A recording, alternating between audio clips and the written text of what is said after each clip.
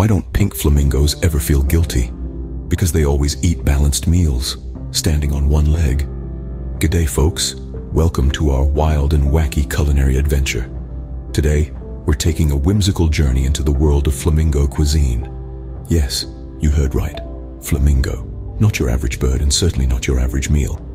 Now, I know what you're thinking. Are they really going to cook a flamingo? Well, here's the kicker. We're not, but we'll have a laugh pretending. So, let's imagine for a moment how one might go about catching, preparing, and cooking a pink flamingo. Remember, this is all in good fun. We absolutely adore these beautiful birds and would never recommend actually dining on one. If you're ready for a flight of fancy, don't forget to like, share, and subscribe to join us on this feathery fiasco. Now let's dive into the world of pink flamingos, shall we? Ever tried catching a flamingo? It's not a walk in the park, mate. Picture this. You're tiptoeing through marshy wetlands, trying not to step on a crocodile's tail. Flamingos, they love these places. Did you know they can run up to 16 miles per hour? That's faster than your grandma on a mobility scooter. Now let's say you've managed to corner one. Be careful not to get a face full of beak. These birds have a mean right hook. They're not just pretty pink lawn ornaments, you know. They're feathered ninjas. And then there's the issue of their diet. You'd think they'd munch on a nice worm or two, but no. They prefer algae and tiny shrimp. That's right, shrimp. They're the seafood connoisseurs of the bird world, so catching a flamingo, not as easy as it looks.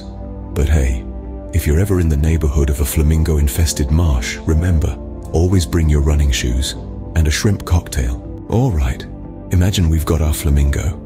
Now, how do you prepare a bird that's more legs than body? Well, you'd start by trying to find the body.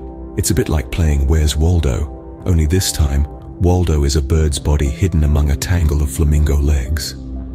Now you might be thinking, what about those feathers? Well, plucking a flamingo is a bit like trying to pull a cactus out of the desert. You're more likely to end up with a handful of prickles than anything else. But let's pretend we've managed it, and we've got ourselves a bare-naked flamingo. Next, we'd look at the diet of these pink beauties, which is mainly brine shrimp and blue-green algae. It's their diet that gives them that lovely pink hue. So, if you ever fancy a change in your skin tone, you know what to do. Just kidding, please don't start munching on algae and shrimp unless you're a flamingo, of course. Now let's talk about the flamingo's anatomy. They've got one of the longest necks in the bird kingdom, second only to the swan.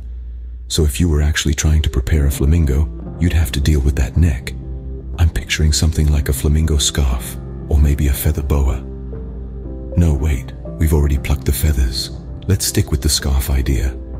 And then there's the matter of the legs. I mean, these birds have legs for days, literally. Their legs can be longer than their entire body. So what do you do with all that leg? Flamingo drumsticks, anyone? But remember, friends, this is all just a bit of fun. We're not really suggesting you go out and catch yourself a flamingo for dinner. In fact, we highly recommend against it. Flamingos are protected species in many parts of the world, and besides, they probably taste like shrimp-infused bubblegum. And there you have it, a prepped flamingo, only in our wildest dreams, right?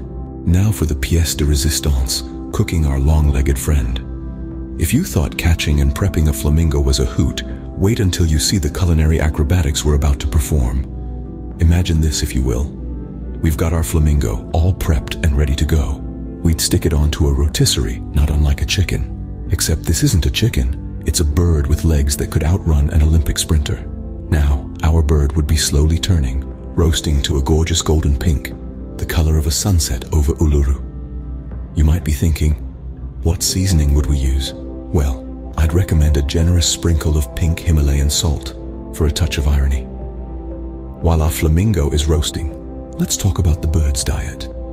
Did you know flamingos eat a type of algae that turns their feathers pink?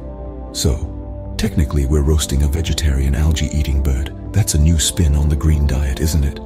Now, for the side dish. If we were to accompany our flamingo, a crocodile salad would be quite the choice. Picture this, crunchy lettuce, juicy tomatoes, and a generous helping of crocodile tail. A bit of a predator-prey reversal, isn't it? But don't worry, we're not recommending you go out and wrestle a croc. That's a whole different kind of cooking show, mate. As our flamingo roasts, the air would fill with a tantalizing aroma. You'd be salivating anticipating the first bite of this exotic dish. But remember, this is all for fun. We wouldn't actually eat a flamingo. They're far too pretty to eat and besides, I hear they taste like a mixture of chicken and shrimp. And who wants to eat a shrimpy chicken? So after a good two hours on the rotisserie, our flamingo would be perfectly cooked. Golden pink, crispy on the outside, tender on the inside. A culinary masterpiece that's more art than food. There you have it, a perfectly roasted flamingo that we'll never actually eat. Now what wine pairs best with imaginary flamingo, you ask? Well, naturally it's a pink rose. Just as our majestic feathered friend stands tall in pink, a blush rose stands proud in your glass. With its delicate fruity notes, it's as if each sip is a flight through a summer sunset, just like our winged buddy. But wait, there's more. Did you know that flamingos aren't naturally pink?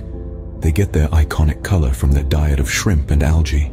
Similarly, the pink hue of our rose comes from the skin of red grapes. Now isn't that a beak-smacking coincidence? And for a side dish, how about a towering stack of pancakes because why not? It's as appropriate as eating a flamingo, right? Don't forget to press that like button if you enjoyed our culinary flight of fancy. Share this video with your mates and hit subscribe for more wild and whimsical foodie adventures. And that's how you cook a flamingo, or rather, how you don't. Remember, we love our feathered friends too much to eat them. Until next time, mates.